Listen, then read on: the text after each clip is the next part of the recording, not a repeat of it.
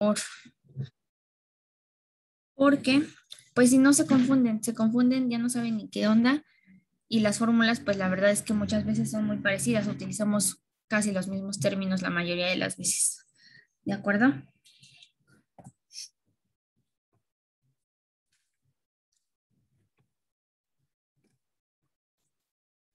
Bueno, si tienen dudas con los problemas del proyecto hasta ahorita, al final me avisan para volver a conectarnos, ¿va? Y mientras, pues vamos a empezar entonces. Tenemos ahora ya eh, la segunda parte de electricidad que es electrodinámica. Nosotros terminamos de ver lo que es electro, electroestática, ¿de acuerdo? ¿Se acuerdan que la electrostática era todo lo que tenía que ver con las, eh, los, las corrientes, pero como, pues que no se movían, ¿cierto?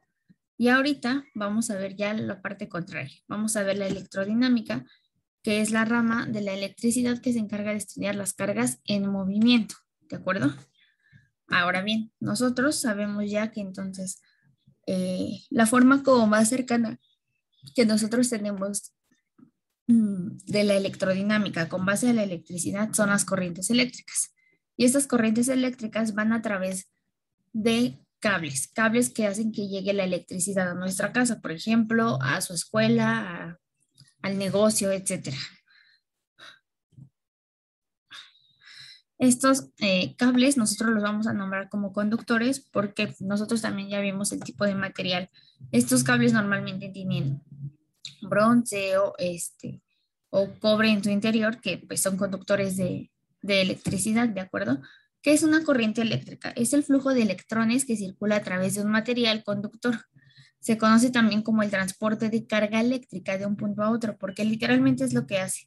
¿De acuerdo? Le sirve de transporte a la electricidad para poder llegar a diferentes lados. Por eso casi todos, más bien todos los electrodomésticos ahora, utilizan cables a través de los cuales pues nosotros podemos recibir esa carga eléctrica en el dispositivo o en la televisión, en, este, en la compu, en el internet, etcétera, ¿de acuerdo? En las herramientas y todo esto, ¿va? Y bueno, con este mapita es como todo lo que nosotros vamos a alcanzar a ver de electrodinámica. Por el momento vamos a, tenemos que la electrodinámica son las cargas en movimiento a través de una corriente eléctrica. Esta corriente eléctrica se puede dividir en alterna y continua. Se rigen con la ley de Ohm, que relaciona la intensidad de la corriente, la resistencia y el voltaje, ¿de acuerdo? Y por este lado tenemos también los circuitos de corriente, que son tres diferentes, serie, paralelo y mixto. Entonces, pues vamos a alcanzar a ver todo esto antes de que se termine nuestro tercer parcial. ¿De acuerdo? Ahora, los tipos de corriente que nosotros conocemos, o bueno, más bien que vamos a conocer, bueno, ustedes, pero se conocen dos. Es aquella en que el flujo de cargas recorre el conductor continuamente, ¿de acuerdo? Por eso la vamos a llamar continua, siempre en un mismo sentido. ¿Qué quiere decir esto? Que realmente, la, bueno, por ejemplo, la gráfica que yo les coloco aquí va directa, ¿de acuerdo? Nunca se mueve, siempre va de un sentido al otro y nada más. Este tipo de corriente es generado por pilas o baterías, ¿de acuerdo? Aquí hay algunos ejemplos y pues pueden ver que puede ser cualquier tipo. Y la alterna es aquella que en el que el flujo la carga, de la carga se mueve alternadamente dentro del conductor desplazándose de un sentido a otro, es decir, que la carga va y viene, va y viene una y otra vez, así como se ve también en su grafiquita, pues es un movimiento continuo de la, de la corriente hasta llegar a donde va. Este tipo de corriente es producido por generadores eléctricos, por ejemplo, ya es algo más grande, ¿de acuerdo? No es como las pilas que nosotros utilizamos en nuestros controles, etcétera. Ahora, para nosotros poder modificar o cuantificar una corriente eléctrica, se utiliza el concepto de intensidad de corriente eléctrica. Esta intensidad es la carga total que va a circular a través de nuestra sección del conductor, ¿de acuerdo? Esta intensidad de corriente es qué con, con qué tanto voltaje atraviesa nuestro conductor, ¿de acuerdo? Y esto va a ser por cada unidad de tiempo que utilice para atravesar esa corriente matemáticamente tenemos esta fórmula en donde tenemos intensidad de la corriente, carga que pasa por el conductor y en qué tiempo lo hace, ¿de acuerdo? Una nueva unidad de medida que vamos a observar nosotros es ampere. En ampere se va a medir la intensidad de la corriente, ¿de acuerdo? Siempre, siempre, siempre nos tienen que quedar en esto. La carga, pues como ya lo conocemos, lo vamos a medir en coulombs y el tiempo en esta ocasión lo vamos a medir siempre en segundos. Si nos lo dan en minutos, que lo dudo, va a ser siempre en segundos, ¿de acuerdo? ¿A qué creen que se deba que sea en segundos que pasa una corriente eléctrica a través de un cable?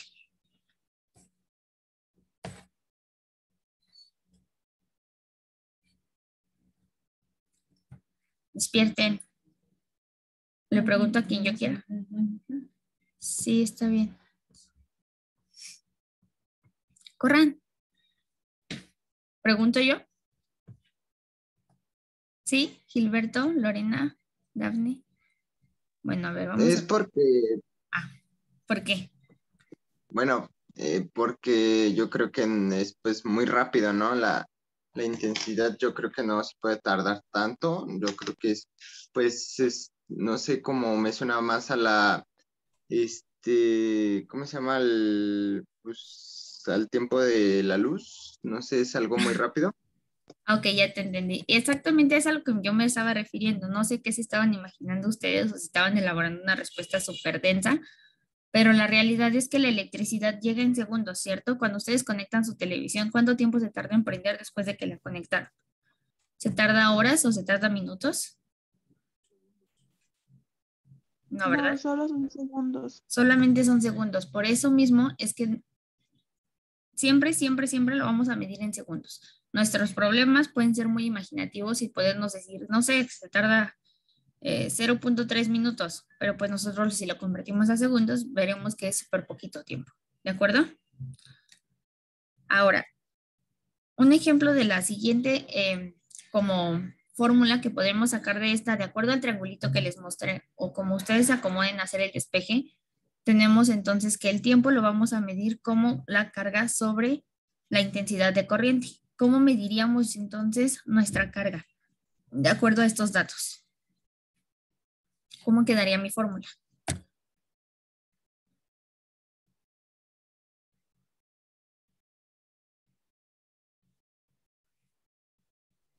Carga por intensidad de corriente y tiempo. No, carga igual a intensidad de corriente por tiempo. Ah, ¿yo cómo? Sí, carga es igual a tiempo por intensidad de corriente. Y esas son las tres formulitas. Bueno, hoy ocuparemos dos. Está súper sencillo, pero son las fórmulas que se utilizan aquí, ¿de acuerdo? Si quieren anotar las tres, anótenlas. Si quieren anotar una y saben utilizar el triangulito, con eso no va a haber ningún problema, ¿de acuerdo? Solo acuérdense bien de las unidades. Estas sí son las únicas en las que vamos a estar con amperes, con coulombs y con segundos, ¿de acuerdo?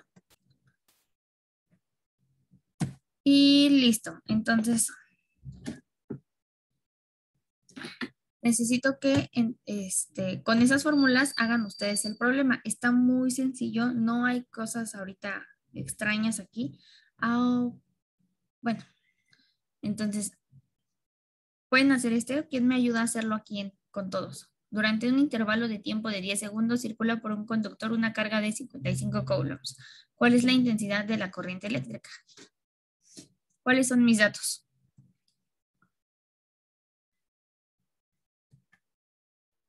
10 segundos. ¿Y qué más?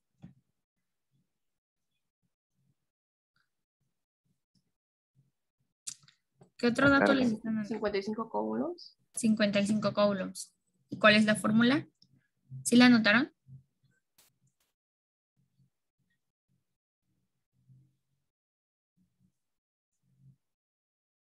Intensidad es igual a carga sobre tiempo.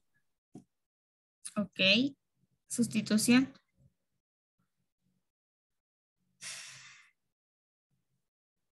Quedaría 55 coulombs entre 10 segundos. Resultado. Y nos da 5.5. 5.5 amperes, ¿de acuerdo? Ok. ¿Lo están copiando? Para hacer el siguiente y avanzar con nuestros temas. ¿Tienen duda? ¿no? Eh, ahí 5.5A es lo mismo a intensidad. Intensidad de la corriente es igual a 5.5 amperes.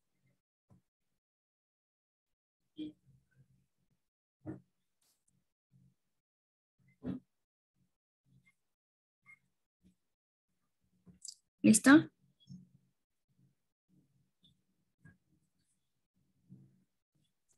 Sí, ya puedo cambiar. Siguiente.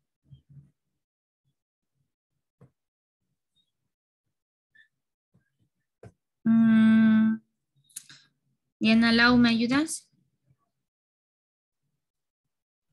Eh, sí. Eh, aquí tenemos la intensidad de corriente, que son 50.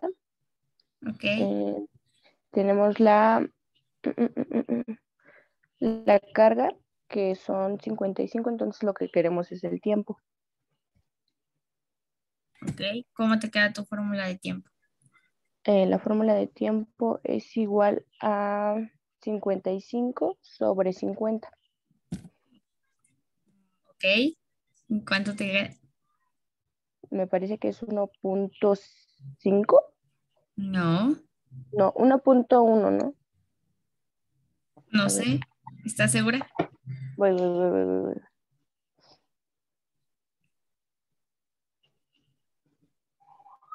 Sí, 1.1. Ok. Listo. ¿Tienen dudas con el segundo problema? Si se dan cuenta, estos primeros problemas sí están muy sencillos. ¿De acuerdo? Y es a lo que me refería. Hoy vamos a ver dos diferentes tipos. ¿Por qué? Porque el primero está sencillo y ahorita vamos a continuar con esto. Pero aunque esté muy sencillo, necesito que no se olviden de nada porque aparte de todo, de ser muy sencillo, se parecen demasiado a problemas que hemos visto como los del triangulito, en donde solamente hay que sustituir dos datos, hacer una división y eso es lo que nos hace un poco sencillo, pero no quiero que lo confundan, ¿de acuerdo? Porque en el examen es cuando me doy cuenta si de verdad están entendiendo y comprendiendo cada uno de los conceptos que, le estamos, que estamos dando en cada problema. ¿De acuerdo? ¿Tienen dudas con este? ¿No? Nada, seguros. ¿Sí? Joshua, Lore, No, maestra, están bien, tan fáciles. hasta el momento, ok. Sí, hasta el momento. Bueno, ahora vamos a ver qué es la resistencia eléctrica. ¿De acuerdo? Les mencioné yo eh, al inicio, cuando empezamos a ver conceptos de acuerdo a lo que íbamos a ver, que la resistencia eléctrica era una oposición. Esta oposición es, una oposición natural que presentan todos los materiales en mayor o menor medida al paso de una corriente eléctrica. Es decir, que siempre, siempre hay esta oposición. La diferencia es que algunas veces va a ser mayor que otras, ¿de acuerdo? Por ejemplo, tenemos el oro y el cobre. El oro pone mucha más resistencia que el cobre. Por eso es que, por ende, en los cables, pues normalmente encontramos este material, porque este material opone menos resistencia al paso de la electricidad. Y así que sucesivamente con muchos otros materiales que igual ahorita vamos a mencionar.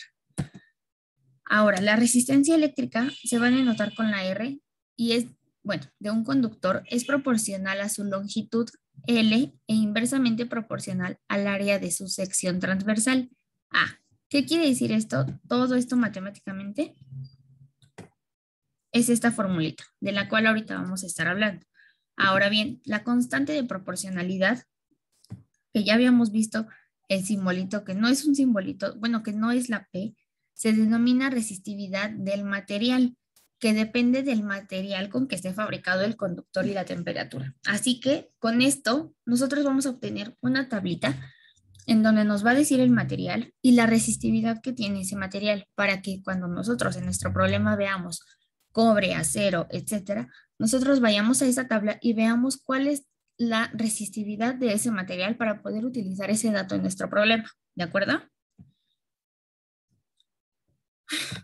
Ahora tenemos nuestra fórmula, que es resistividad igual, perdón, resistencia es igual a resistividad por longitud sobre el área del alambre, ¿de acuerdo? La resistividad la vamos a medir con ohms por metro, la longitud del alambre en metros, siempre en metros, para que precisamente nos queden estas medidas de las cuales nosotros estamos apoyándonos. El área del alambre se va a medir en metros cuadrados y la resistencia del alambre en ohms, ¿de acuerdo? ¿Tienen dudas con esto?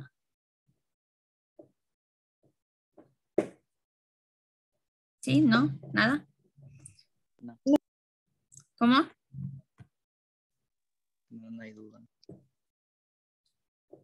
¿Ninguna? Es que no escuché. Alguien prendió su micro, pero bueno. ¿Copiaron la fórmula nada más? Mínimo. Sus unidades de medida. Conste. Ahora, la resistencia que, es- que opone. En un- que se opone en un conductor cambia con la temperatura, ¿de acuerdo? Es decir, que va variando de acuerdo a qué tan qué temperatura tiene nuestro conductor. Si se conoce la resistencia a 0 grados, se puede conocer también la resistencia a cualquier temperatura. Es decir, que nosotros tendríamos esta otra formulita, ¿de acuerdo? Entonces ya es nuestra segunda. En donde tenemos la resistencia a cualquier temperatura, que es RT, la resistencia a 0 grados, que es R0, y nuestro coeficiente de la temperatura de la resistencia, ¿de acuerdo? Entonces, este va a ser nuestro coeficiente. El 1 más solamente pertenece a nuestra fórmula y literalmente vamos a sumarle 1 a eso que nosotros obtenemos, ¿de acuerdo? Entonces, ambas resistencias se van a seguir midiendo en ohms y el coeficiente de la, de la temperatura siempre va a ser 1 sobre grados centígrados, pero realmente esa unidad no tiene alguna relevancia para cambiar nuestro resultado. ¿De acuerdo? Digamos que esto lo vamos a encontrar precisamente en estas tablitas, que son las que yo les decía. En la primera nosotros vamos a encontrar la resistividad, yo, lo que yo les mencionaba sobre el aluminio, cobre, hierro, oro, plata, acero, mercurio y todos estos. ¿De acuerdo? La resistividad la vamos a encontrar aquí. Y el coeficiente de temperatura, nosotros lo vamos a buscar en esta tablita, ¿de acuerdo? Igual a cada uno. ¿Cómo vamos a saber cuándo utilizar uno y cuándo utilizar la otra tablita? El problema mismo te lo va a decir, ¿de acuerdo? Entonces, ahorita la tablita no la vamos a, bueno, no les va a dar tiempo de copiarla, obviamente, pero mm, creo que vamos a terminar temprano. Vamos a poder hacerlo de acuerdo a los problemas, ¿de acuerdo? Entonces, determina la resistencia de un alambre de cobre cuya longitud es de 50 metros y de sección transversal es, y su sección transversal es de 8 por 10 a la menos 6. Como datos, me están dando la longitud, que son 50 metros. De, me están diciendo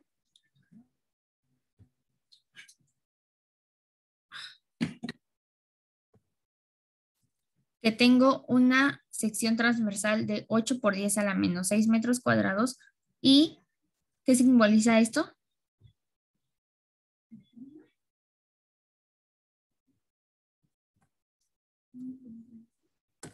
¿No?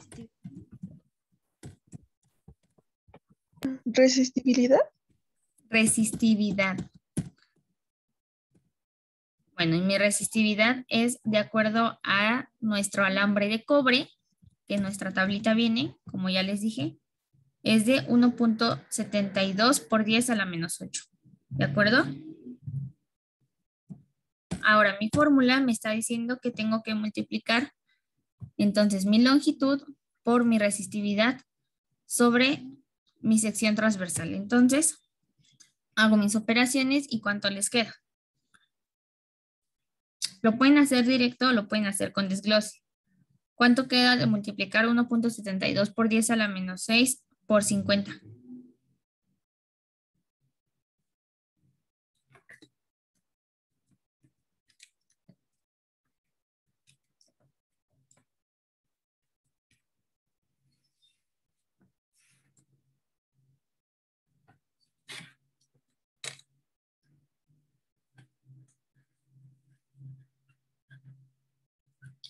¿Ya?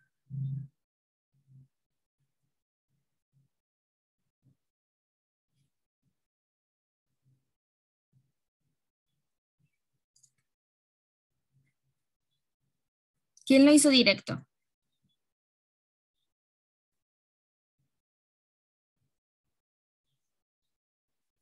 Y de aquí, de estos, bueno, de este grupo, ¿quién lo hace con desglose? ¿Nadie? ¿Todos lo hacen directo? Bueno, ¿cuál es el resultado entonces?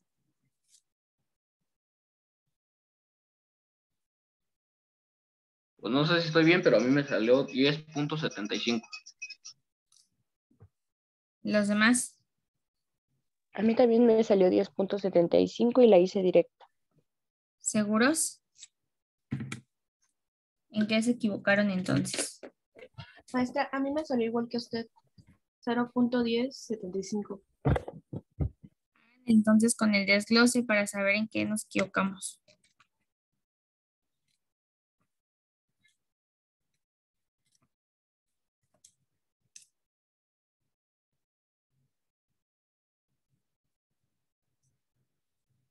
A mí me salió en notación, había dicho que igual estaba bien. ¿Cómo te queda en notación? 1 punto. 1.075 a la 11. Menos, menos ¿Para 11. qué? Este, por X a la 11. A la menos 11. ¿Y está bien tu notación científica por 10 a la menos 11? No sé, déjeme contar los ceros. Maestra, no está, eh, bueno, es que a mí me salió en el de, en el de desglose, eh, nada más me sale en el de 0.86, me sale cuatro. 4. Entonces, a ver. 8 por 10 a la menos 6. Ah, por eso a ustedes les sale eso. Esperan. Creo que yo puse mal el dato de mi tablita entonces, porque es a la menos 8. Y yo, me, yo le dejé el menos 6. Corrijan la potencia nada más. Aquí. En la de abajo. No, no es cierto, en la de arriba, en la de arriba.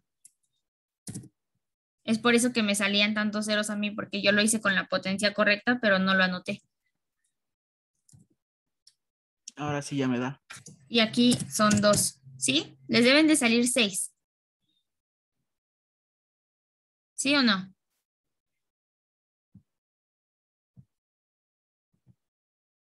Bueno, si no lo hacen de manera, si lo hacen de manera directa, pues ya no les sale este resultado de los seis ceros. Ya les tendría que salir el 0.1075.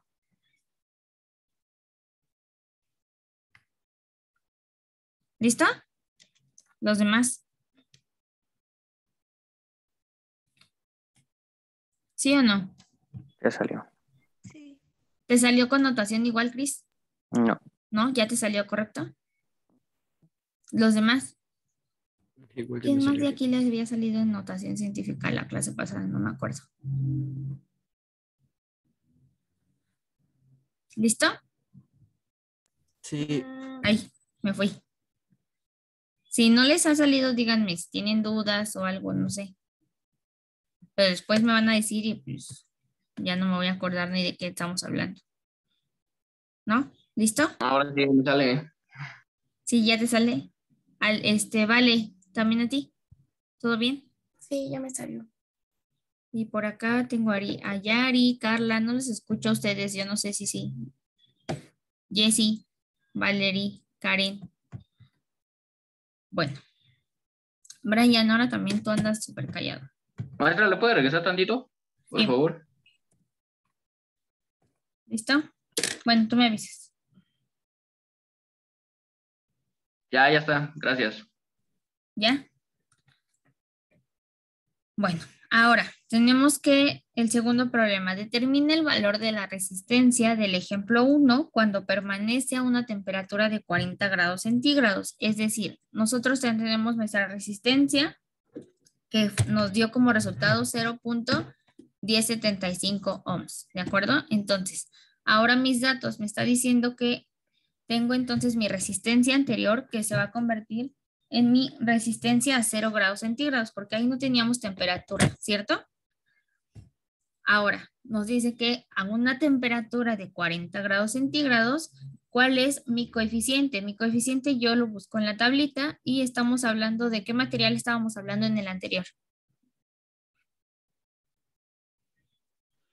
¿Cobre? De cobre. Según la tablita que yo les coloqué, bueno, a ver, dejen ver si aquí tengo la imagen.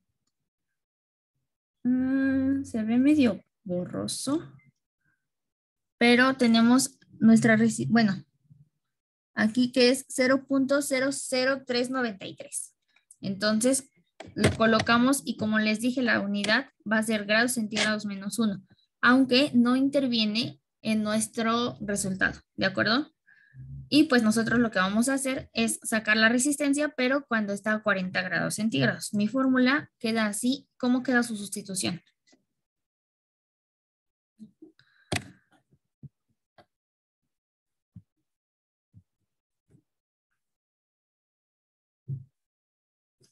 ¿Víctima o voluntario?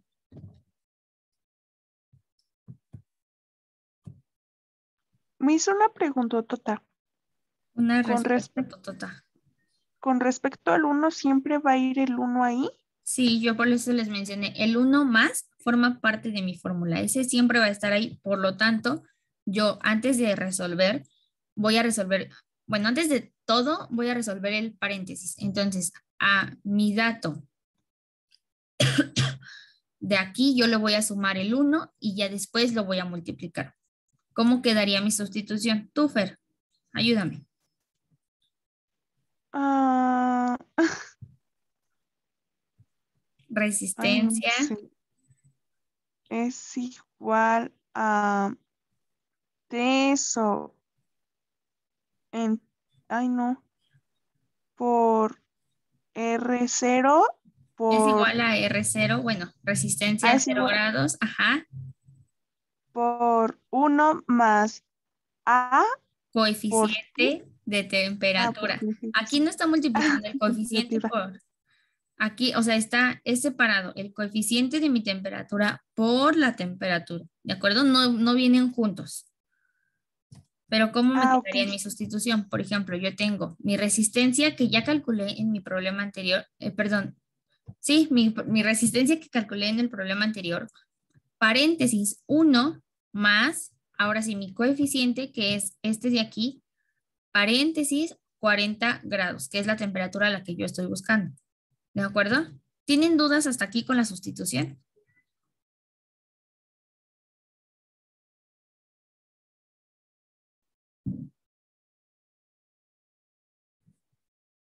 ¿Sí o no?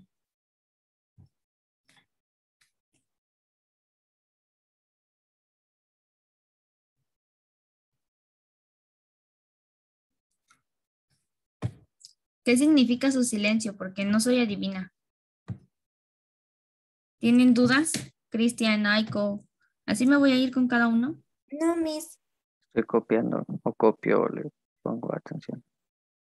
Es que no, por eso se supone que no deben copiar ahorita. No por eso No, se supone que les pidieron las diapositivas para final. Si no, entonces yo les doy tiempo de copiar luego de que me hagan caso, pero ya no subo las diapositivas a Classroom.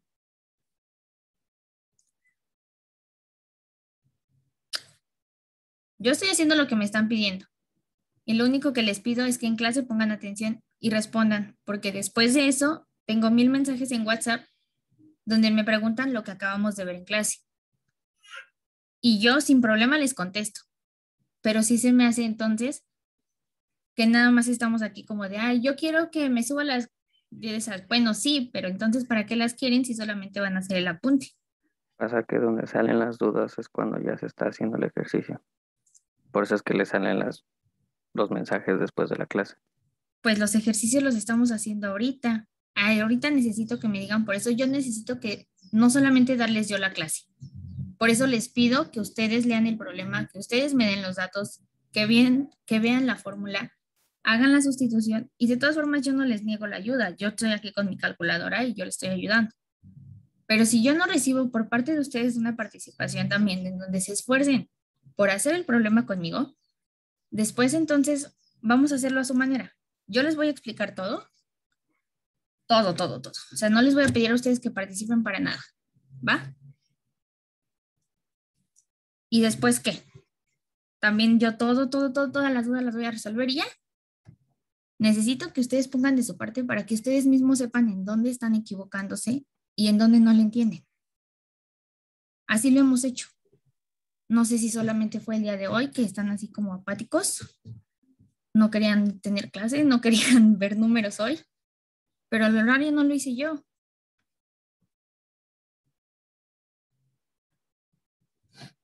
Maestra, Mande. ¿de dónde sacó el coeficiente de, bueno, la A? El coeficiente de temperatura de la tablita. Ahorita pues obviamente no les estoy dando el tiempo de copiarlo porque se supone que iba a subir las diapositivas. Pero, ah, ay, creo que ya me fui más. Espera, espera. Ya con más calma copian estas tablitas. Ah, adelante demasiado, perdón. Estas. De la segunda tabla, aquí como dice, vas a sacar el coeficiente de temperatura. De acuerdo al material del que estemos hablando. Ahorita yo relacioné los dos problemas. Creo que no funciona hacerlo así. Entonces voy a hacer problema por problema. Y entonces yo te voy a decir que necesito el coeficiente de temperatura para el- la plata, por ejemplo. Entonces tú en la tablita pues lo vas a encontrar aquí. ¿Vale?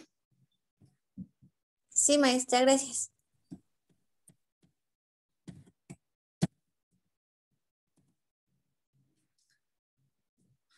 ¿Dudas? No,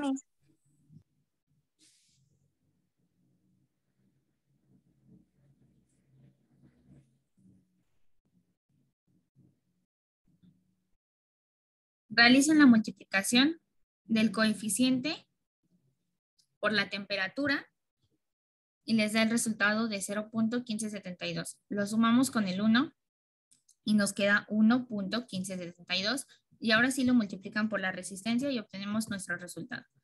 ¿De acuerdo? Entonces ahora nuestra resistencia a la temperatura de 40 grados centígrados es igual a 0. ah, 124.399 ohms. Y ya, ese es nuestro resultado. ¿De acuerdo? ¿Dudas con algún renglón de la sustitución?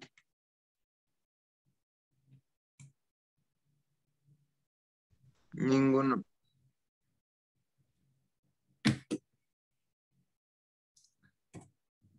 Pues bueno, espero que la siguiente clase podamos repasarlos. No estoy segura de que hoy hayan, haya quedado clarísimo, pero al menos ya di los ejemplos y las fórmulas. Espero que de aquí al miércoles hagan el apunte y el día miércoles pues ya les daré los problemas para que los resuelvan en clase. Quizá no de clase, o sea, quizá solamente nos metamos para que ustedes hagan los problemas y mientras hacen los problemas les salgan dudas. Espero. ¿De acuerdo? Y pues espero que también tengan participación ustedes. ¿Va? Si subo las diapositivas después, precisamente es para que en clase pongan atención. Y les pido que solo copien las fórmulas para que cuando hagamos los problemas las tengan y podamos hacer la sustitución, los datos, anotar las unidades eh, en las que los vamos a medir, etcétera. ¿De acuerdo? Pero bueno, pues ya simplemente hay días en las que no nos va tan bien. Aún así los temas están sencillos y yo no creo que tengan problema. Solamente necesito que sí se familiaricen con los términos. O sea, no vamos a poder estarlos llamando A o así porque nos vamos a confundir. ¿De acuerdo? Entonces hay que familiarizarse con el término y con el símbolo.